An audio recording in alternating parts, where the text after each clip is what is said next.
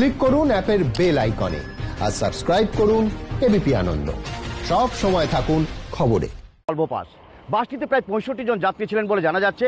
যাত্রীদের কাছ থেকে পাওয়া তথ্য অনুযায়ী যেটা জানা যাচ্ছে, যে রাত দুটো নাগাদ বাসটি যখন রানীগঞ্জের পাঞ্জাবি মোড়ের কাছে চলে আসে, সেই সময়ই কুয়াশায় ম- মুড়ে যায় গোটা রাস্তাটি বলা জানা যাচ্ছে এবং সেখানেই একটি ডিভাইডার ছিল এবং ডিভাইডারে ধাক্কা মারে বাসটি। বাসটি ধাক্কা মারার পরই বাসটি উল্টে যায় এবং সেখানে চল্লিশ জনের আঘাত লেগেছে বলে জানা যাচ্ছে। যাদের মধ্যে দশ জনের আঘাত গুরুতর হয়, তাদেরকে আসা- আসানসোল, রানীগঞ্জ এবং দুর্গাপুরে বিভিন্ন হাসপাতালে ভর্তি করে চিকিৎসা চালানো হচ্ছে। কৌশিক গাতায় এবিপি আনন্দ, রানীগঞ্জ।